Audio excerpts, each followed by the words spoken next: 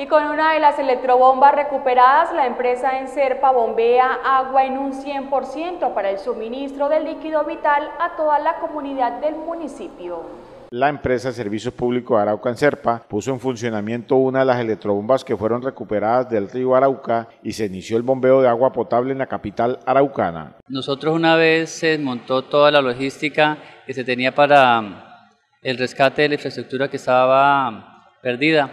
eh, la empresa con su equipo técnico procedió a implementar una actividad para restablecer el servicio y fue así como alrededor de las 12 de la noche ya teníamos conectada una bomba de las que rescatamos, que es la bomba principal, y con esa bomba prácticamente podemos dar un parte positivo que podemos normalizar el servicio. Hacia la medianoche del día anterior se inició el bombeo de agua potable en el municipio de Arauca. A esa hora se, se logró hacer el respectivo bombeo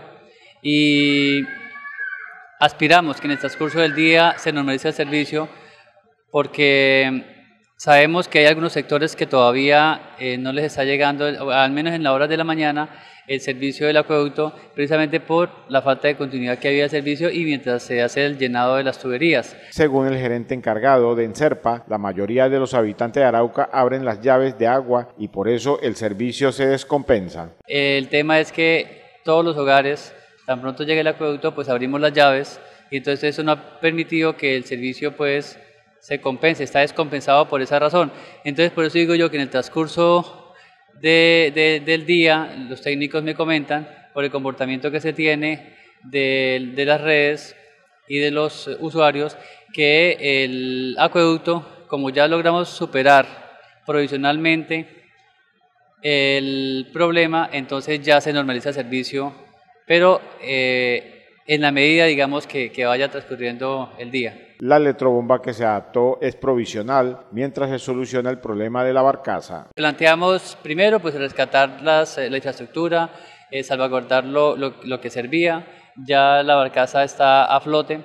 Eh, la, lo que se adaptó allá pues obviamente es, es una, un andamiaje provisional, pero que nos está funcionando. Entonces la idea es diseñar otras estrategias para garantizar la continuidad